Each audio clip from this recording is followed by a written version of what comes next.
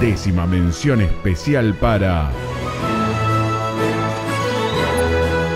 Un ser único, quinto A, Escuela Municipal de Bellas Artes, San Clemente.